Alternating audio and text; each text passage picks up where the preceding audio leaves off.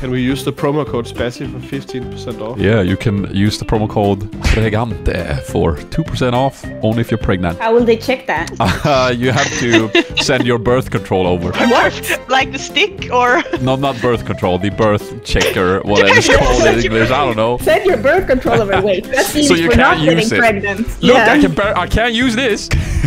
I'm clearly pregante. You have my birth control. No, yeah, pregnancy test. That's what I'm looking for. Pregnancy test. Anyone who doesn't use birth control, they're pregnant. Yeah. So you, Spazie, pregnant. No, no, no. I'm wearing a condom At all times. at all times. We've been over this on stream. Really awkward at the urinal. oh shit. You brought it up. You didn't have to mention your penis. I didn't mention my penis. I mentioned a condom. You mentioned your penis by proxy.